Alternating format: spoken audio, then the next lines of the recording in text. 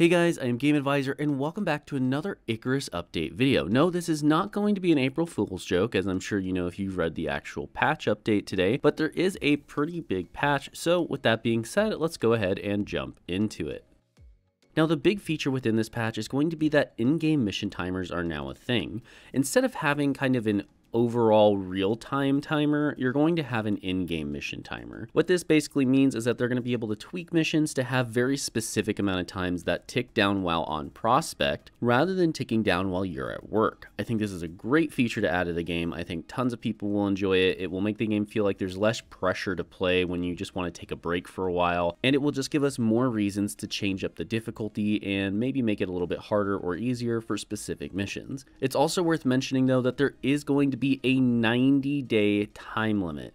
This means that if you are playing in online mode, as most people do, you're going to have a 90 day overall time limit. I'm not really sure if this is going to show us in game. As far as I've seen, it doesn't.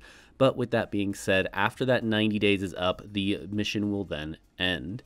The only reason I'm bringing this up to you guys is because 90 days is a really long time and it's still worth keeping in mind as if you do go on a long vacation or you just decide to take a long break from the game, but you have left your character in the game, you still are going to want to extract them if you plan on being gone for longer than that 90 day period from the time you start the mission itself, even if say you still have say two or three days with in-game time left. Either way, though, I do think this is a definite net positive for the game. It's going to add a lot of benefit to a lot of missions, a lot of variety and difficulty, which we're going to talk about next. Next is that they've now added mission difficulties. So, as you've already probably seen, they've had the previous little skull system where every mission was kind of this set preemptive difficulty. They still have that, saying that, hey, this mission's roughly this difficult on average, but now they also have settings to each mission that you can choose, which will change the amount amount of rewards you get. So this is going to actually work pretty simplistically. You've got three major options here, which is easy, medium, and hard. Easy is going to give you about half of your normal reward. Medium will give you the normal amount that you got previously for missions. And then hard will give you 1.5 times the amount. Now, it's also worth mentioning that on easy mode, it will reduce the spawn rate and difficulty of certain mobs. For an example, you might have, say, a minus 50% bear respawn rate or a minus 20% scorpion spawn rate. Therefore, if you are doing a mission where you need to hunt down a lot of bears, this could be a negative for you. But it's just worth mentioning since it could be also a really good thing if you're doing a mission where you just have to run long distances and you just don't want to deal with the things in your way. It will also change their stats, their aggression, and many other things. The biggest one I want to talk about though is that when you're playing on hard mode, hard mode will limit the amount of respawns that you can have on several different missions. The way this works from my understanding is after you hit that respawn limit, it will then basically lock you into the mission saying, hey, you can no longer respawn. You have to be revived by an ally. Otherwise, there's really nothing you can do. So just keep in mind when you're choosing hard mode, there is a respawn limit. There's also hardcore mode, which adds another 1.5 multiplier. So if you're doing hard and hardcore, you would get double your reward. And what this does is basically just makes it so you have one single life. If you die, you cannot respawn. After you are dead, you have to be revived by an ally, otherwise your character is stuck on the mission. Insurance can also be toggled on, which is a little bit strange, but insurance basically gives you less of a reward overall, which will then also make it though so that your character cannot be lost when the prospect timer ends. So if you don't know if you're going to be able to complete the mission in time, or if you don't know if you're going to be able to finish within that 90 day time period, you can turn this on. But and if your character actually dies, you will not lose them. Or say if your character dies and you're playing on hardcore mode, you won't lose them. You'll still get them back at the end of the prospect timer. So it's just something I wanted to mention to you. It is an option to turn on on basically every mission. So if you're just trying to speed run through the story, you can turn insurance and easy on for every single mission that you want to and just speed run through it. However, again, you will get things like XP multipliers, negative XP multipliers, and a whole bunch of other stuff. So just make sure to read the modifiers before deciding what difficulty you want to put on. Once again, I think this is a huge net positive for the game. I think a lot of players think the game is too easy and a lot think it's too hard. So this will give those players kind of an option to either change it to the way they want or make it a little bit easier for those new players first coming into the game. Since we are talking about missions and changes to them, I just want to very quickly mention there is a little border around missions now that will unlock something for you.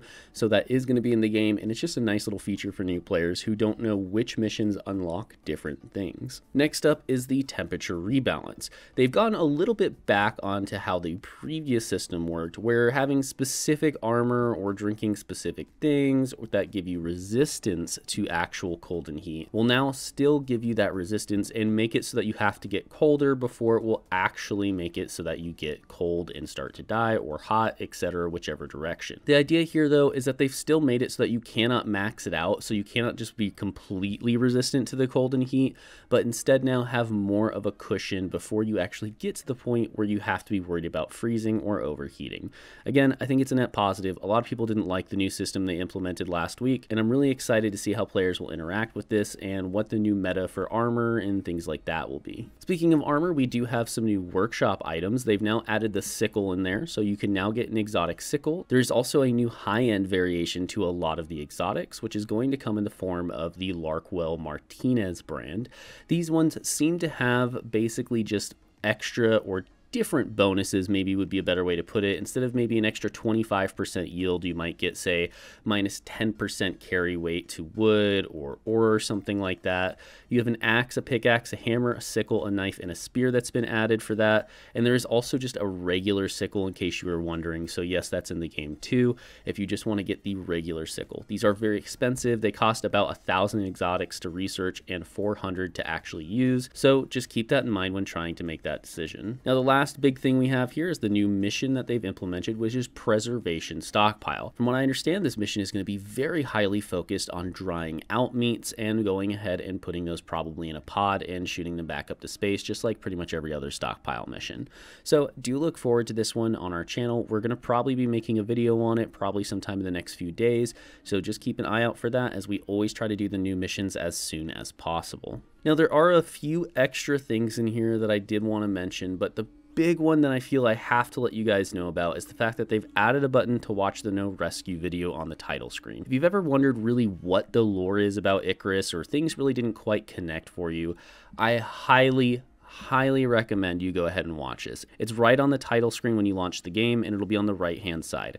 I highly recommend you click it as it will give you a good idea as to what the lore is about. It's actually a pretty entertaining little video if you like the game Icarus and if you don't like it, it's a good way to actually introduce you to what the game is if maybe you haven't bought this yet or you have a friend that hasn't bought this yet. You can send it to them since it's on YouTube and it'll give them ideas to what they can expect. Aside from that, it's really just a bunch of bug fixes, crash fixes, and other little tweaks, so I'm really not going to get too much into that at this stage. Just know that there is a lot of fixes in here, and this patch is really more focused on the content it seems than it is on other things. So with that being said, thank you guys so much for watching. I am Game Advisor. I hope you've enjoyed this video, and if you want to see more Icarus and other survival game content, do consider subscribing to our channel. We make new videos all the time. We do an update video every single week, usually on the same day that it comes out or the day after. And thank you once again I'm Game Advisor. I'll see you next time.